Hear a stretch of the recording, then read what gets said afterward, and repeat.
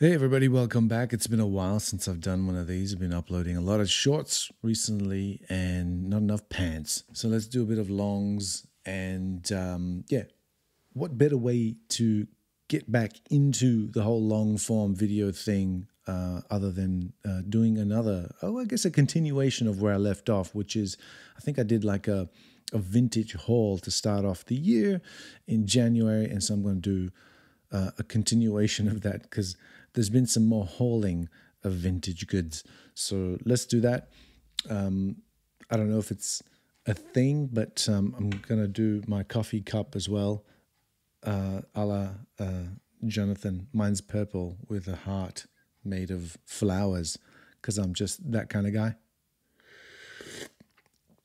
Mm, brought to you by cheap ass shit. All right, and scent of the night is Antaeus nice and warm and cozy and beastly. Um, and that's what I'm going to kick off with. I'm going to kick off with, uh, I think, how many fragrances did I get? I got quite a few. Let's go through them and uh, we'll tell you a little bit about each one of these. Um, kick off with the letter A. And The letter A is for Chanel. Chanel's Antaeus. now, I showed you this one last time, which is the uh, the vintage Antaeus here. And uh, there is another to join it and so there's two an- antei. Antei, if that's what you would call them, that's what I'm going to call them now. Slight differences. I don't know if there's any experts out there that are watching that know Antaeus very well. I know these are both vintages.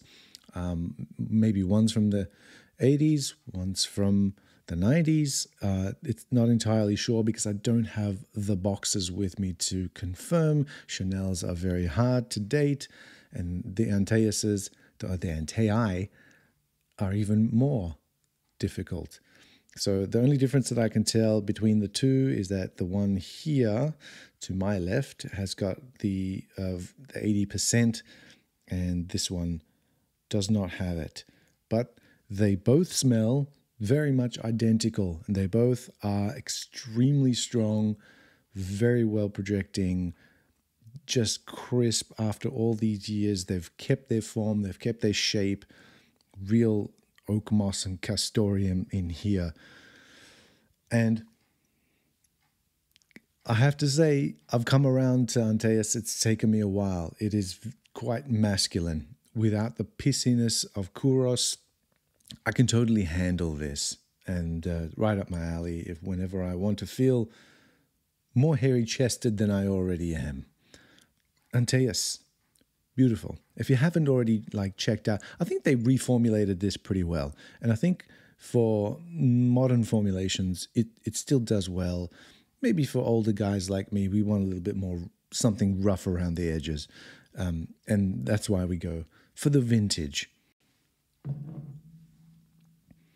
Next up, I also picked up um, a couple of more vintages. Of course, this is a vintage haul, but um, I, picked up this guy here, which is uh, Yves Saint Laurent's uh, Pour Homme, and uh, another another one here. Now, there are slight differences uh, to these. This is a I don't know if you can read that, but it is a Parfums Corp.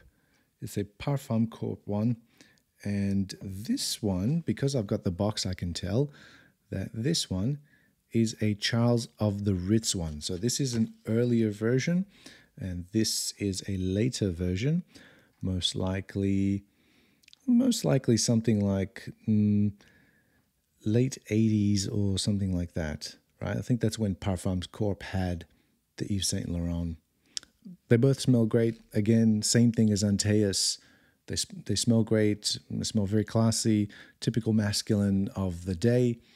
Um, and I think probably you could probably pull it off as, as a young guy, but I wouldn't recommend it in this sea of I don't know sweet offerings and things like that. But it's good to have these in the wear action. The wear action. It's not a collection, it's a wear action because you gotta wear the fragrances. You don't just collect them to look at them. Next up is another oldie, it is this one right here. This is uh, Dolce Gabbana's feminine. They also have a masculine, and uh, the is very citrus based and the feminine from the cap here, you know, you you kind of get like this floral sort of seaside, almost uh, almost aquatic sort of scent, but it is actually a floral, and it it actually wears quite well. And it's one of these things that this like this was released in 1999, and back when this was released, this would have been traditionally a feminine sort of leaning scent, and you had your masculine scents, which would have smelled traditionally masculine with all of its masculine elements. 25 years later, I'd probably say that this is unisex right now. This is unisex. And so it can be worn and I kind of like it. I think it was went really nice. I wore it the other day. It was quite warm and it actually wore on skin very well. Um, yeah, I don't think this ever got reformulated. This is a Euro Italia um, because you can tell that it's an old vintage of um, Dolce Gabbana because it is a Euro Italia. Will probably tell you somewhere up here on the sticker at the bottom here. Okay, so there you go. It's a classic. This is a blast from the past as well. The next one is um, one that I've been trying to get for a long time, and uh, I'll show you right now what it is because it is Xeryus Rouge by Givenchy. This is the original bottle, the original Art Deco bottle.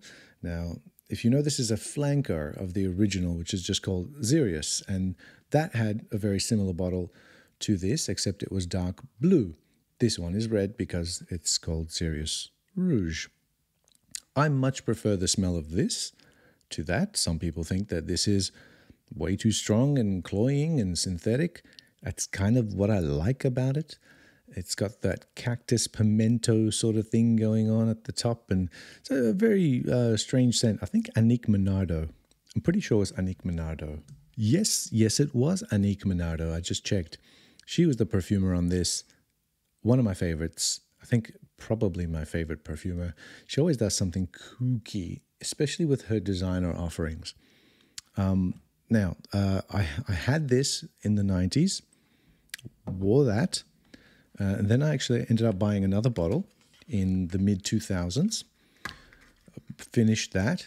And then in 2019, I bought another bottle because I, I needed to have the fragrance just for memory's sake. Now, my 2005 bottle had matured quite nicely and it smelled a little bit better than this did when I first opened it up. However,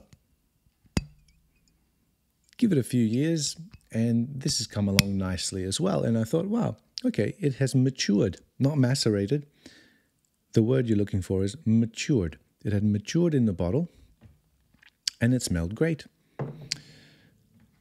Until I smelled this and I tried it on and I wore it. And then I remembered that, ah, yeah, I remember now it's supposed to smell like 10 times richer than it currently does.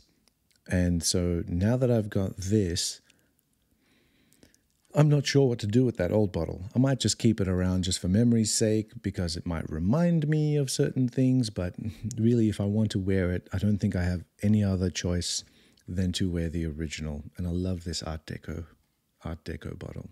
All right. So cool. All right. This is one where I think the reformulations have just have not been as good. And this vintage is something special, especially for me and my memories. What else did I get? What else did I? What else did I get? Oh yeah, I got this. Okay, so last time, no, I didn't show you this last time, but I've had this. This is my original uh, bottle of uh, I don't know what's it, what is this called? Can you guess? I'm pretty sure you can.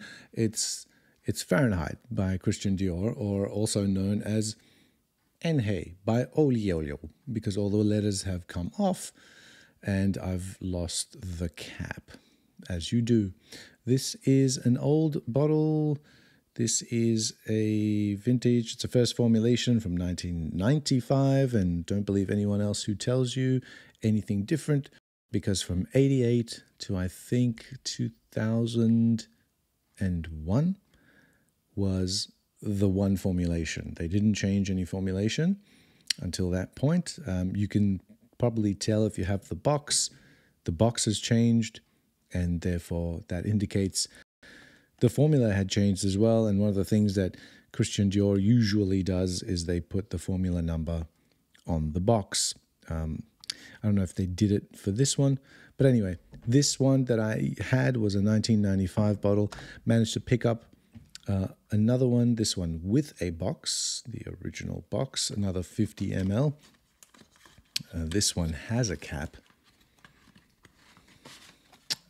And I did wear, this the other night, and it is also as beastly as my older one.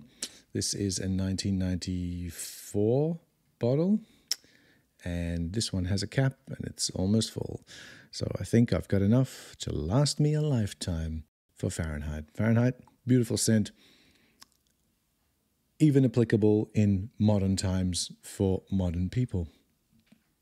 Not out of place anywhere, I'd say. Alrighty, and the very last ones, ones because I think I bought, I bought more than one because, okay, here's how it works. Um, I I had my original I had my original bottle of Jazz, and we're talking about Yves Saint Laurent's Jazz. I had my original bottle. There's not much left in here. There's maybe about 25 ml left in my old 100 ml bottle. This is a, I don't know if you can read that, but that is a Parfums Corp bottle. It's the old piano keys bottle. Uh, soon after I got that, I ended up also picking up the old live jazz, which I'm not a huge fan of, but I think I'm coming around to actually remember people who used to wear this. I used to remember seeing this around in, in quite a lot of places. Um, even the even the old jazz, I remember seeing that around in the early '90s. I remember the advertisements on TV. I never wore it back then, though. It wasn't it wasn't my thing, right? And when I actually picked it up, um, I don't know, recently, not not that recently, maybe a decade more more than a decade ago, I was older and it, it really I liked it a lot more. Let's just say that. Let's just say that my sensibilities had grown into the scent, and instead of instead of the the scent having been changed, because this is a, a vintage, and it's represented in the way that it was supposed to be represented. Anyway, um, after I got that, I ended up getting the Jazz Prestige, right? Which is actually really, really nice. I'm, I really, really adore this one. Um, I've gone through a bit of it already. It was a lot more fuller than this and a little bit more citrus forward and somehow a little bit animalic as well. I mean, I, it's got its occasions, but more for an uh, an occasion rather than uh, uh, a sort of all rounder like what jazz can possibly be. Jazz is a very lovely aromatic uh, fragrance. Um, so I ended up picking up two more, right? One 100 mil, which is quite full, almost very full, and another another one, which is a 50 ml, another Piano Keys one. So there's three of those now. And this is a Parfums Corp, and this is a Parfums Corp because I think they're the only ones that actually manufactured it uh, during the time that it was being made with these Piano Keys bottles. Um, Parfums Corp, I think Parfums Corp was the only ones that made these. So, so yeah, that's it. That's pretty much it. That's my little mini sort of vintage haul. I mean, it's not mini. It's it's a haul. It's still a haul, but uh, I think it's a haul of very important landmark fragrances, things like Yves Saint Laurent Pour things like Antaeus, Jazz, Fahrenheit, all things that everyone who's getting into perfume should at least test out, at least once. Um, and if you can, get yourself a vintage version. And if you can't find those because they're getting quite rare and expensive, then maybe try for a decant. Someone will be able to offer you a decant somewhere around the world and you'll be able to test these out. Even if you don't like them, it's it's still good to know like the the roots of what we consider, you know, kind of, kind of like some people consider this the golden age of masculine perfumery. So, yeah, it's good. Good to get yourself educated in that, especially if you're getting into this kind of thing. And hopefully, it won't be like another two months before I release another video. And as always, thanks for watching.